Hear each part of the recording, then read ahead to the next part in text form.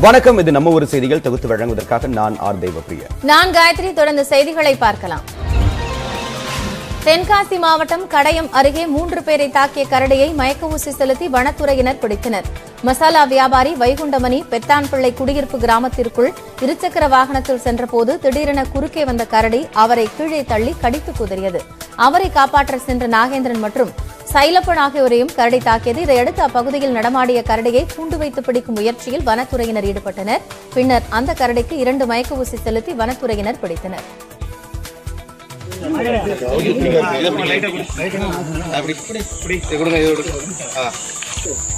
நம்ம இந்த வண்டி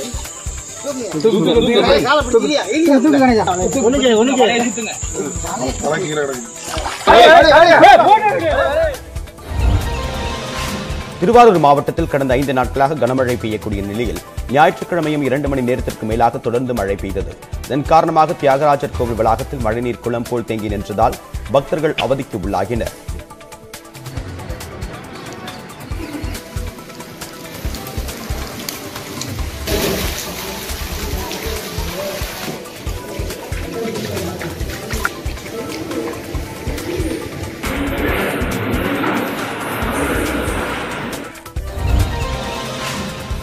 மாவட்டம் சமயபுரம் அருகே கொள்ளிடம் ஆற்றில் உள்ள பழைய பாலத்தை முற்றிலுமாக இடிக்கும் பணிகள் தொடங்கியிருக்கின்றன.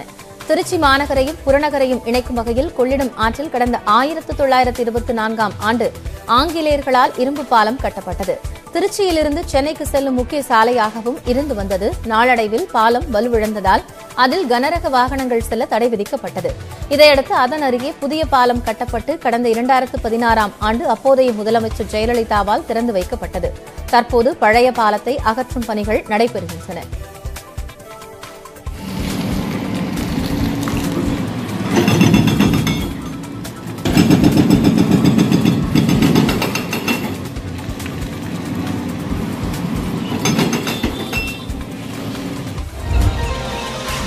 திருவண்ணாமலையில் போலி தங்க நகைகளை கொடுத்து மோசடி செய்த கர்நாடக இளைஞர்கள் நான்கு பேரை போலீசார் கையும் களவுமாக கைது செய்தனர். பிரான்சிஸ்டோ நடத்தி வரக்கூடிய தன்சாம்பட்டு பகுதியை சேர்ந்த பூங்காவனம் என்பவரிடம் இந்த கும்பல் தங்க குண்டுமணி மாலை என்று கூறி இரண்டு லட்சம் ரூபாய் பெற்றுக்கொண்டு அதை விற்றுள்ளனர். இதையடுத்து வீட்டிற்கு சென்று பூங்காவனம் பரிசோதித்ததில் அது போலி நகை என்பது தெரியவந்தது. தொடர்பாக அளித்த புகாரின் அடிப்படையில் தனிப்படை போலீசார் தங்களுக்கும் தங்க நகை வேண்டும் என்று மோசடி கும்பலை தொடர்பு கொண்டு பேசினர். இதையடுத்து திருவண்ணாமலை பேர் நிலையத்திற்கு வந்த நான்கு பேரையும் கைது செய்தனர். விசாரணையில் அவர்கள் கர்நாடக மாநிலம் மாண்டியாவை சேர்ந்த ராகுல் பவன் பிரபு மற்றும் சோனாகி என்பது தெரியவந்தது. நாகப்பட்டினத்தில் துறைமுக நுழைவு வாயிலில் உள்ள பாறையில் ஃபைபர் படகு மோதிய விபத்தில் பதினேழு வயது சிறுவன் தூக்கி வீசப்பட்டதில் காணாமல் போனார். டாடா நகர் பகுதியைச் சேர்ந்த சுப்பிரமணியன் தனது மகன் ராஜபாண்டியனுடன் மீன் பிடித்துவிட்டு கரை திரும்பி இருக்கிறார். அப்போது துறைமுக நுழைவு வாயிலில் கடல் அரிப்பை தடுக்க கொட்டப்பட்டுள்ள பாறை மீது எதிர்பாராத விதமாக ஃபைபர் படகு மோதியது. இதில் இருவரும் தூக்கி வீசப்பட்டதில் சுப்பிரமணியனை சக மீனவர்கள் பாதுகாப்பாக மீட்டனர். ஆனால் அவரின் மகனை காப்பாற்ற முடியவில்லை. வேலூர் மாவட்டம் குடியாத்தத்தில் இருவேறு இடங்களில் குட்கா விற்பனை தொடர்பாக பெண் உட்பட நான்கு பேர் கைது செய்யப்பட்டனர். சித்தூர் கேட் பகுதியில் போலீசார் வாகன சோதனையில் ஈடுபட்டிருந்த போது குட்கா பொருட்களுடன் இருசக்கர வாகனத்தில் வந்த நுஸ்ரத் சாதிக் என்பவரை கைது செய்தனர். அவரிடம் விசாரித்ததில் பாஷா என்பவரின் குடோனிலிருந்து நூற்றி இருபத்தி ஐந்து கிலோ குட்கா பறிமுதல் செய்யப்பட்டது. அங்கு பணியில் இருந்த பெண் ஒருவரும் கைது செய்யப்பட்டார். அத்துடன் நெல்லூர்பேட்டை குட்கா விற்பனையில் ஈடுபட்டதாக ஜமால் மற்றும் நேரு ஆகிய இருவரும் கைது செய்யப்பட்டனர். இருவேறு இடங்களில் மொத்தம் இரண்டு லட்சத்து ஐம்பதாயிரம் ரூபாய் மதிப்பிலான குட்காவுடன் இரு பைக்குகளும் பறிமுதல் செய்யப்பட்டன. திருப்பூர் மாவட்டம் பல்லடம் அருகே இருசக்கர வாகனத்தில் சென்ற பெண்ணிடம் ஆறு சவரன் தங்கச்செயினை பறித்துச் சென்ற இருவரை போலீசார் தேடி வருகின்றனர். வடுகுபாளையத்தைச் சேர்ந்த சுப்பிரமணி தனது மனைவி ஜானகியுடன் சாமிக்கவுண்டன் பாளையம் நோக்கி சென்றிருக்கிறார். அப்போது அவர்களை இருசக்கர வாகனத்தில் பின்தொடர்ந்து வந்த இருவர் ஜானகி அணிந்திருந்த செயினை பறித்துக் கொண்டு தப்பி ஓடினார்.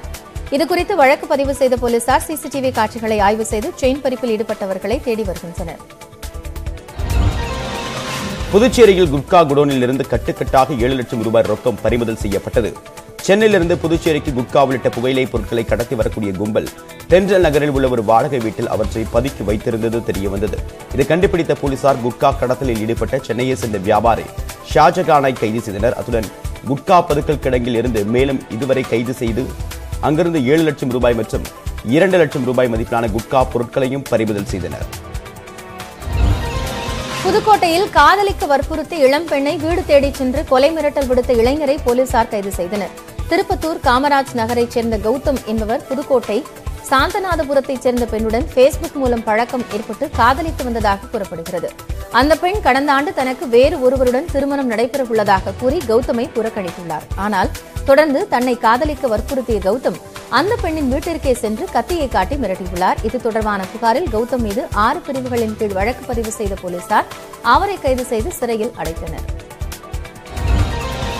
செங்கல்பட்டு மாவட்டம் கூடுவாஞ்சேரி நகராட்சிக்குட்பட்ட மகாலட்சுமி நகர் அமுதன் காலனி பகுதியில் வடகிழக்கு பருவமழை முன்னெச்சரிக்கை நடவடிக்கைகள் குறித்து அமைச்சர்கள் கே என் நேரு மற்றும் தாமோ அன்பரசன் உள்ளிட்டோர் நேரில் ஆய்வு செய்தனர். இதையடுத்து குளவாய் ஏரியை தூரும் தூய்மைப்படுத்தி குடிநீர் ஆதாரமாக மாற்றுவது குறித்து அதிகாரிகளிடம் ஆலோசனை மேற்கொண்டனர். இதையடுத்து பேசிய அமைச்சர் கே என் நேரு செங்கல்பட்டு நகராட்சியில் இருநூற்று நாற்பது கோடி ரூபாய் மதிப்பீட்டில் பாதாள சாக்கடை பணிகளுக்காக ஆய்வு மேற்கொள்ளப்பட்டு வருவதாக தெரிவித்தார். திருவண்ணாமலை கார்த்திகை தீப திருநாளை முன்னிட்டு கிரிவல பாதை மற்றும் மாடப்பகுதிகளில் உள்ள வியாபாரிகளுக்கு பல்வேறு கட்டுப்பாடுகளை விதித்து மாவட்ட நிர்வாகம் உத்தரவிட்டுள்ளது. அதன்படி கிரிவல பாதையை சுற்றியுள்ள வனத்துறைக்கு சொந்தமான இடங்களில் வணிகர்கள் மற்றும் நடைபாதை வியாபாரிகள் குப்பைகளை கொட்டினால் அவர்களுக்கு அபராதம் விதித்து கடைகளுக்கு சீல் வைக்கப்படும் என எச்சரிக்கப்பட்டுள்ளது. மேலும் சாலைகளை ஆக்கிரமித்து உணவகங்களை நடத்தக்கூடாது என்றும் இளநீர் கரும்புச்சாறு கடைகளில் உள்ள குப்பைகளை உடனே அகற்ற வேண்டும் என்றும் அறிவுரை வழங்கப்பட்டுள்ளது.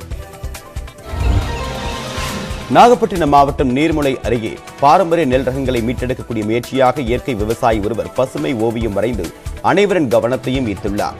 மாராச்சேரி கிராமத்தைச் சேர்ந்தவர் வேணு காளிதாஸ். உழவுக்கு உற்ற தோழனாக இருக்கக்கூடிய மாடுகளை கௌரவிக்கும் விதமாக தன்னுடைய வயலில் சின்னார் என்ற பாரம்பரிய நெல் ரகத்தை பயிரிட்டுள்ளார். அவற்றை சுற்றி மாடுகளுக்கு தீவனமாக பயன்படக்கூடிய குதிரைவாளி வளர்த்து அவற்றை ஒரு ஏக்கர் பரப்பளவில் பிரம்மாண்ட ஓவியமாக படைத்துள்ளார்.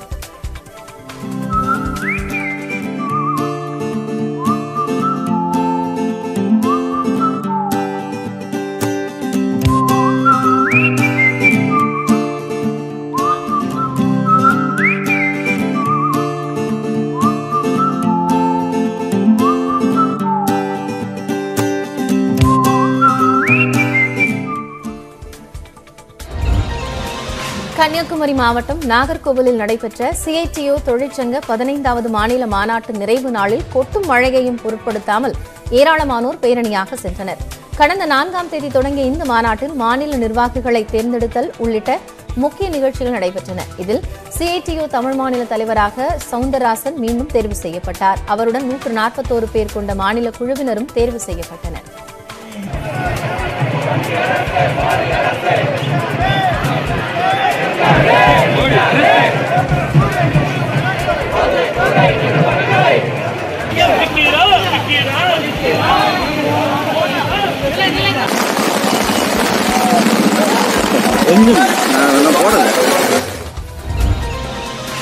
புதுக்கோட்டை மாவட்டம் ஆலங்குடி திருமயம் பொன் அமராவதி கந்தர்வக்கோட்டை உள்ளிட்ட பல்வேறு பகுதிகளில் கனமழை பெய்தது. சுமார் அரை மணி நேரம் பெய்த மழையால் சாலைகளில் வெள்ள நீர் பெருக்கெடுத்து ஓடியது.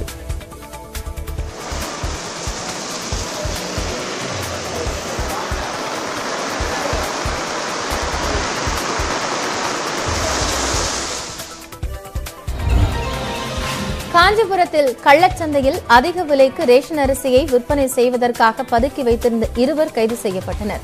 பொதுமக்களிடம் ஒரு கிலோ ரேஷன் அரிசியை ஐந்து ரூபாய் கொடுத்து வாங்கி வந்து வடமாநில தொழிலாளர்கள் மற்றும் ஓட்டல்களுக்கு அதிக விலைக்கு விற்பனை செய்வதாக தகவல் கிடைத்தது.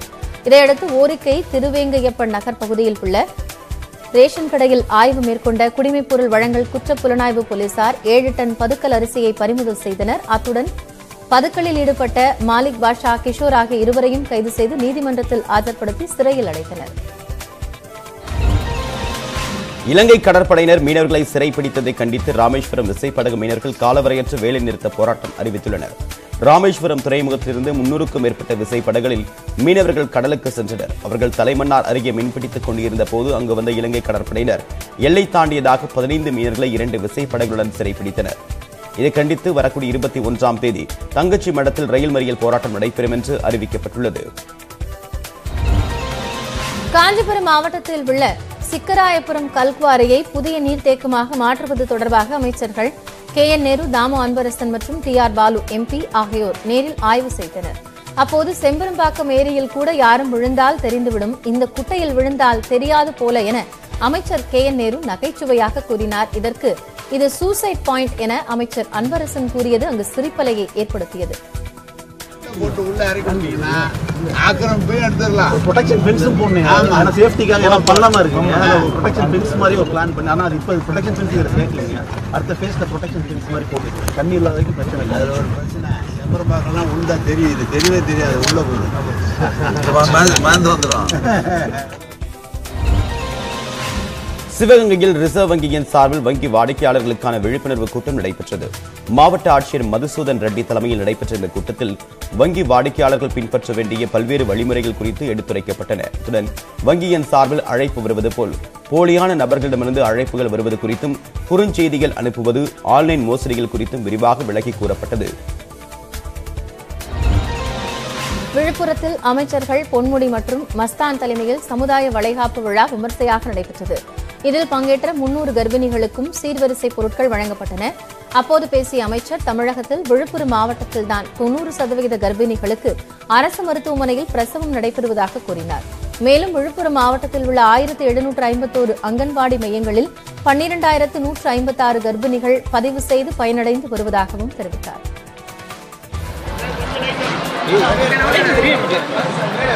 உட்காருமா நீ? உட்காருமா உட்காருமா உட்காருமா.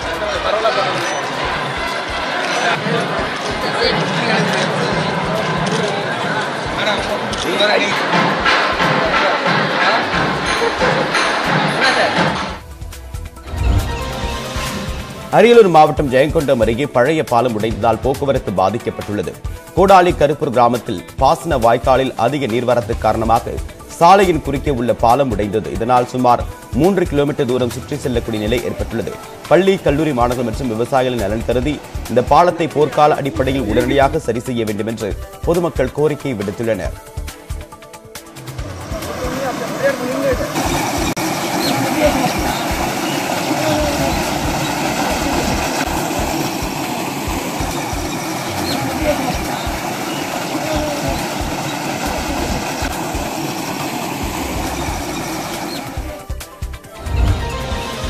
பெரம்பலூர் மாவட்டம் களரம்பட்டியில் உள்ள அரிசி ஆலையில் பதுக்கி வைக்கப்பட்டிருந்த இருபத்தேழு டன் ரேஷன் அரிசியை குடிமைப்பொருள் குற்றப் புலனாய்வுத் துறையினர் பறிமுதல் செய்தனர். தனியார் அரிசி ஆலையில் ரேஷன் அரிசி பதுக்கி வைக்கப்பட்டிருப்பதாக கிடைத்த தகவலின் பேரில் அங்கு சென்ற அதிகாரிகள் எழுபது மூட்டைகளில் இருந்த ரேஷன் அரிசி மற்றும் சரக்கு வாகனத்தையும் பறிமுதல் செய்தனர்.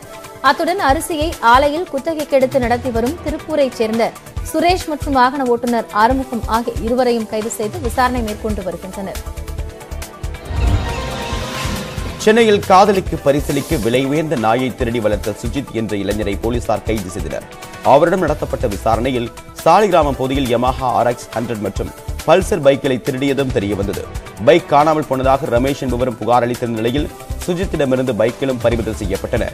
பல்வேறு இடங்களில் பைக்கை திருடி வந்த சுஜித் காதலிக்காக நாயை திருடி போலீசாரிடம் சிக்கியுள்ளார்.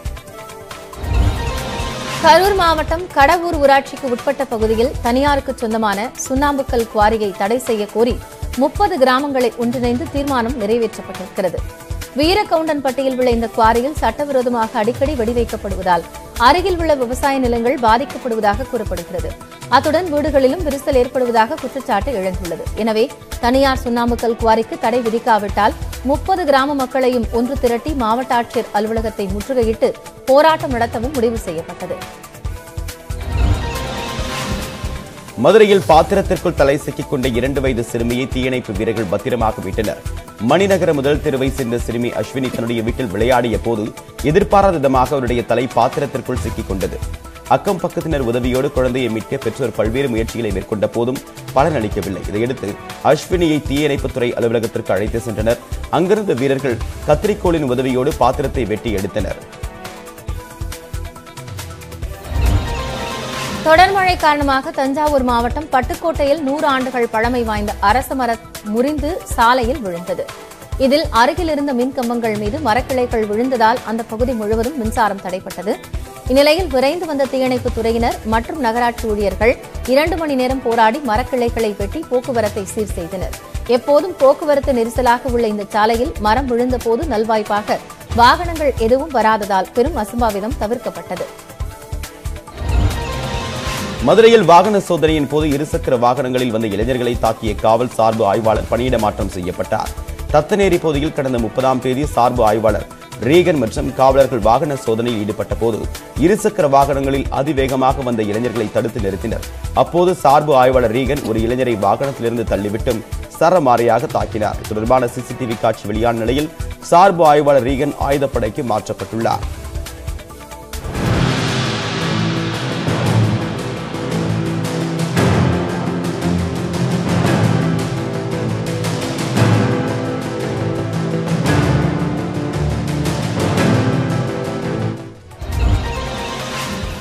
திருவண்ணாமலை மாவட்டம் ஆரணி அருகே சாலை வசதி ஏற்படுத்தி கொடுக்க வேண்டும் என்று கிராம மக்கள் கோரிக்கை விடுத்துள்ளனர். பெலாமரத்தூர் ஊராட்சிக்கு உட்பட்ட சாரமந்தை நாச்சமலை கூத்தநேரி உள்ளிட்ட கிராமங்களைச் சேர்ந்த மக்கள் அத்தியாவசிய தேவைக்கு பதினைந்து கிலோமீட்டர் தொலைவில் உள்ள ஜமுனாமுத்தூர் தான் சென்று வர வேண்டும். அத்துடன் கரடுமுரடான பாதை மற்றும் ஐந்து காட்டாறுகளை கடக்க வேண்டியுள்ளது. இதனால் பருவமழை காலத்தில் கடும் இன்னல்களை சந்திப்பதால் போர்க்கால அடிப்படையில் சாலை அமைக்க வேண்டும் என்ற கோரிக்கை விடுக்கப்பட்டுள்ளது. வார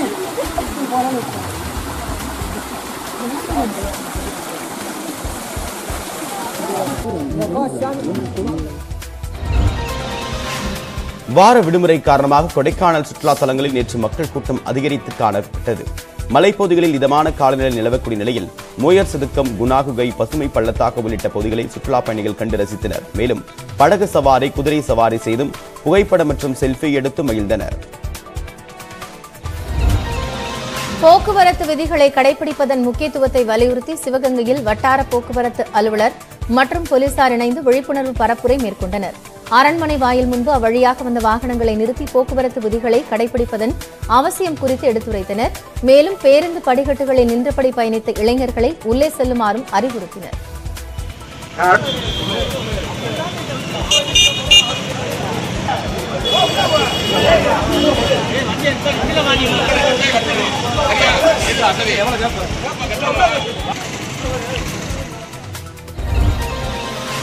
இன்று பிறந்தநாளை கொண்டாடக்கூடிய நடிகர் கமலஹாசனை வாழ்த்தி சென்னை வலசர்வாக்க பகுதியில் போஸ்டர் ஒட்டப்பட்டுள்ளது. பிறந்தநாள் காணும் ஆயுட்கால அழகனே ஆழ்வார்பேட்டை ஆண்டவரே மற்றும் ஆரம்பிக்கலாங்களா என்று பல்வேறு வாசகங்கள் இடம்பெற்றுள்ளன. இந்த போஸ்டர்கள் நடிகர் ரோபோ சங்கர் சார்பில் ஒட்டப்பட்டிருப்பதாக தகவல் வெளியாகியுள்ளது தென்காசி மாவட்டத்தில் உள்ள குற்றால அருவிகளில் தண்ணீர் வரத்து குறைந்ததை அடுத்து சுற்றுலா பயணிகள் குளிப்பதற்கான தடை நீக்கப்பட்டது. இதனால் பிரதான அருவியான குற்றால மெயினருவி ஐந்தருவி புலியருவி சிற்றருவி உள்ளிட்ட அனைத்து அருவிகளிலும் சுற்றுலா பயணிகள் ஆனந்தமாக குளித்து மகிழ்ந்தனர்.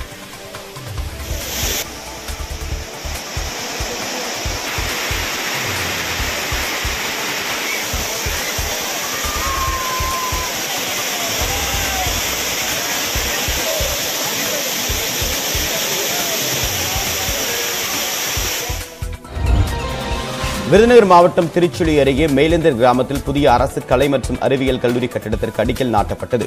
கடந்த மூன்று மாதங்களுக்கு முன்பு திருச்சுழியில் கலை மற்றும் அறிவியல் கல்லூரியை முதலமைச்சர் மு ஸ்டாலின் காணொலி காட்சி வாயிலாக தொடங்கி வைத்தார். இதையடுத்து அங்குள்ள அரசு உதவி பெறக்கூடிய பள்ளியில் தற்காலிகமாக கல்லூரி செயல்பட்டு வருகிறது. இந்நிலையில் கல்லூரிக்கு என்று தனியாக பனிரெண்டு கோடியே நாற்பத்தி ஆறு லட்சம் ரூபாய் மதிப்பில் கட்டப்படக்கூடிய கட்டிடத்திற்கு அமைச்சர் தங்கம் தென்னரசு அடிக்கல் நாட்டினார். தருமபுரி மாவட்டம் பாலக்கோடு அருகே ஓட்டுநரின் கட்டுப்பாட்டை இழந்த அரசு பேருந்து பள்ளத்தில் கவிழ்ந்த விபத்தில் இருபது பேர் காயமடைந்தனர். ஒசூரிலிருந்து ஐம்பதற்கும் மேற்பட்ட பயணிகளுடன் அரசு பேருந்து தருமபுரி நோக்கி சென்றது. அந்த பேருந்து சூடப்பட்டி அருகே வந்தபோது கட்டுப்பாட்டை இழந்து சாலை ஓர பள்ளத்தில் கவிழ்ந்தது. இந்த விபத்தில் காயமடைந்த பயணிகள் பாலக்கோடு அரசு மருத்துவமனையில் அனுமதிக்கப்பட்டுள்ளனா் ஆவின் பால் கொள்முதல் விலையை மேலும் ஐந்து ரூபாய் அளவிற்கு உயர்த்தி தரக்கோரி திருவண்ணாமலையில் கட்சி சார்பற்ற விவசாயிகள் நூதன முறையில் ஆர்ப்பாட்டத்தில் ஈடுபட்டனர். தமிழக அரசு பால் கொள்முதல் விலையை அண்மையில் மூன்று ரூபாய் உயர்த்தி வழங்கியது. இதை மேலும் ஐந்து ரூபாய் அளவிற்கு உயர்த்தி எட்டு ரூபாயாக வழங்க வேண்டும் என்றும் கோரப்பட்டது. ஒரு லிட்டர் பாலை முப்பது ரூபாய் அளவிற்கு கொள்முதல் செய்து அதை பொதுமக்களுக்கு நாற்பது ரூபாய் என்று விற்பனை செய்வதாக சுட்டிக்காட்டப்பட்டது. எனவே கொள்முதல் விலையை உயர்த்தி வழங்க வேண்டும் என்ற கோரிக்கை முழக்கமிட்டனர்.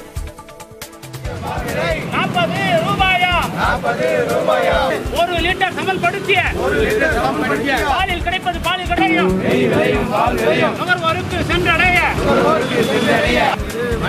வழங்கிடு வழங்கிடு. கிருஷ்ணகிரியில் உணவக உரிமையாளரான வெங்கடேசனின் மாருதி எயிட் ஹண்ட்ரட் காரை ஆன் செய்யும் போது திடீரென தீப்பிடித்து எரிந்தது. உடனடியாக காரை விட்டு வெளியேறிய அவர் வீட்டிலிருந்து தண்ணீர் கொண்டு வந்து தீயை அணைக்க முயற்சித்தார். ஆனால் மளமளவென தீ பரவியதால் இன்ஜின் முழுவதும் சேதமடைந்தது. பெட்ரோல் டியூபை எலிக்கடித்து குதறியதால் இந்த விபத்து ஏற்பட்டது முதற்கட்ட விசாரணையில் தெரியவந்துள்ளது. கோவை மாநகராட்சியின் முக்கிய குடிநீர் ஆதாரமாக திகழக்கூடிய சிறுவாணி அணையின் நீர்மட்டம் நாற்பது அடியாக குறைந்துள்ளது. தமிழகத்தில் வடகிழக்கு பருவமழை தொடங்கியதிலிருந்து பரவலாக மழை பெய்து வருகிறது. ஆனால் சிறுவாணி நீர்பிடிப்பு பகுதி மற்றும் மலைப்பகுதியில் மழை பொழிவு குறைந்ததால் நாற்பத்தி இரண்டு அடியாக இருந்த நீர்மட்டம் தற்போது நாற்பது அடியாக குறைந்துள்ளது. இருந்தபோதும் கோவைக்கான குடிநீர் விநியோகத்தில் எந்த பாதிப்பும் இல்லை என்றும் தெரிவிக்கப்பட்டுள்ளது.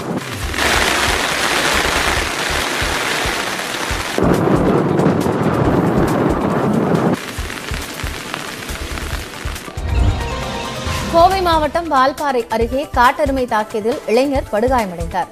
ஐயர்பாடி கவர்கல் செட்டில்மெண்ட் பகுதியைச் சேர்ந்த சிவபிரகாசம் தனது வீட்டிலிருந்து வெளியே வந்தபோது தேயிலை தோட்டத்திற்குள் சுற்றித் திரிந்த காட்டெருமை ஒன்று அவரை துரத்தி துரத்தி தாக்கியிருக்கிறது. இதனால் அவருக்கு காது கால் முதுகு உள்ளிட்ட பல பகுதிகளில் பலத்த காயம் ஏற்பட்டது. திண்டுக்கல் மாவட்டம் வேடச்செந்தூர் அருகே ஆற்றில் துணி துவைத்துக் கொண்டிருந்த பெண்ணிடம் அத்துமீறலில் ஈடுபட்டவரை பொதுமக்கள் அடித்து உதைத்தனர். காக்காத்தோப்பு பகுதியில் குடக்கனாற்றில் பெண் ஒருவர் தனியாக துணித்து வைத்துக் கொண்டிருந்தார். அப்போது அந்த வழியாக மது போதையில் வந்த நபர் தனியாக இருந்த பெண்ணிடம் அத்துமீறினார் இதனால் அதிர்ச்சியடைந்த அந்த பெண் சத்தம் போட்டதால் அருகில் இருந்தவர்கள் ஓடி வந்து அவரை காப்பாற்றினர். அத்துடன் மது போதையில் இருந்தவரை போலீசாரிடம் ஒப்படைத்தனர். திருவள்ளூர் மாவட்டம் பள்ளிப்பட்டு அருகே காரில் கடத்தப்பட்ட இளம்பெண்ணை பொதுமக்கள் உதவியுடன் போலீசார் மீட்டனர். அத்திமாஞ்சேரிப்பேட்டை பகுதியில் சென்ற இளம்பெண்ணின் அலறல் சத்தம் கேட்டதை அடுத்து அந்த காரை துரத்திச் சென்ற பொதுமக்கள் பெண்ணை மீட்டனர். முதற்கட்ட விசாரணையில் அத்திமாஞ்சேரியைச் சேர்ந்த ஜெயக்குமார் என்ற ஆட்டோ ஓட்டுநர் பெண்ணை திருமணம் செய்வதற்காக நண்பர்களோடு இணைந்து கடத்தியது தெரியவந்தது. கொடைக்கானல் கூக்கால் கிராமத்தில் பத்து வயது சிறுமியை ஐந்து மாதம் கர்ப்பமாக்கிய நபர் மீது குண்டா சட்டத்தின் கீழ் வழக்கு பதிவு செய்யப்பட்டது. இந்த வழக்கில் ஐம்பத்தி ஒரு வயதான கிருஷ்ணன் என்பவரை கடந்த மாதம் கொடைக்கானல் மகளிர் காவல்துறையினர் போக்ஸ்கோ வழக்கில் கைது செய்து சிறையில் அடைத்தனர். நிலையில் திண்டுக்கல் மாவட்ட கண்காணிப்பாளர் பாஸ்கரன் உத்தரவின் பேரில் மாவட்ட ஆட்சியர் விசாகன் பரிந்துரையின் படி குண்டா சட்டத்தின் கீழ் வழக்கு பதிவு செய்து மீண்டும் மதுரை மத்திய சிறையில் அடைக்கப்பட்டார். புதுக்கோட்டையில் மத நல்லிணக்கத்தை போற்றும் வகையில் உணவு திருவிழா நடைபெற்றது. ஆலங்குடி சாலையில் உள்ள திரு இருதய ஆண்டவர் ஆலயத்தின் சார்பில் நடத்தப்பட்ட இந்த உணவு திருவிழாவில் அனைத்து மதத்தினரும் பங்கேற்று தங்களுக்கு பிடித்த உணவுகளை சுவைத்து மகிழ்ந்தனர். விழாவில் நடைபெற்ற விளையாட்டுப் போட்டியில் சட்டமன்ற உறுப்பினர் முத்துராஜாவும் கலந்து கொண்டார்.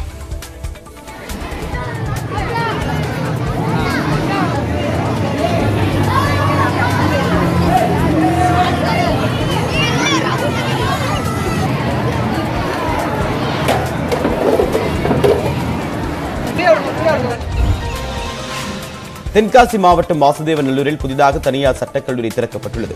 இதற்கான நிகழ்ச்சியில் கலந்து கொண்ட சட்டப்பேரவை சபாநாயகர் அப்பாவு சட்டத்துறை அமைச்சர் ரகுபதி தென்காசி மாவட்ட ஆட்சியர் உள்ளிட்டோர் திறந்து வைத்தனர்.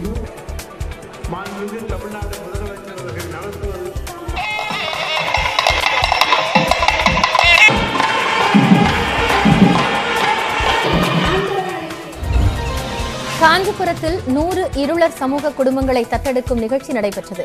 மக்கள் நல்வாழ்வுத்துறை அமைச்சர் மா. சுப்பிரமணியனின் மகன் மாசு அன்பழகன் கடந்த ஆண்டு கொரோனா பாதிப்பால் உயிரிழந்தார். அவரின் நினைவாக காஞ்சிபுரத்தில் அறக்கட்டளை தொடங்கப்பட்டது. இதற்கான நிகழ்ச்சியில் பங்கேற்ற இருளர் சமூக மக்களுக்கு கறி விருந்து படைக்கப்பட்டதோடு தலா பத்து கிலோ அரிசி உள்ளிட்ட பொருட்களும் வழங்கப்பட்டன.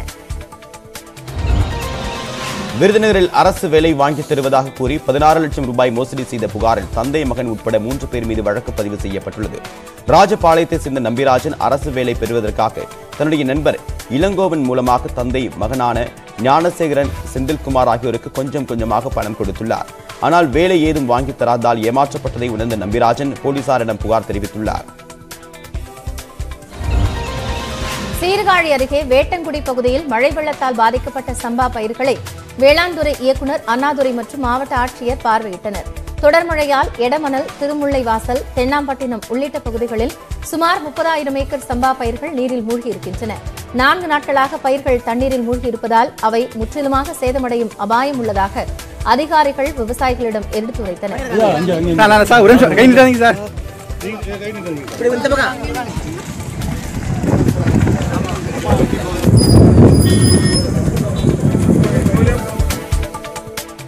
கடலூர் பெரம்பலூர் மற்றும் கள்ளக்குறிச்சியில் ஆர்எஸ்எஸ் சார்பில் பேரணி நடைபெற்றது. இந்நிலையில் மக்களிடையே மதவெறியை தூண்டிவிடும் என்ற அச்சத்தால் தான் ஆர்எஸ்எஸ் பேரணியை எதிர்ப்பதாக விடுதலை சிறுத்தைகள் கட்சித் தலைவர் திருமாவளவன் கூறியுள்ளார். இத்துடன் ஆறு மணி செய்திகள் நிறைவு பெறுகிறது மேலும் அண்மை செய்திகளுக்கு தொடர்ந்து இணைந்திருங்கள். உங்கள் நியூஸ் எயிட்டின் தமிழ்நாடு.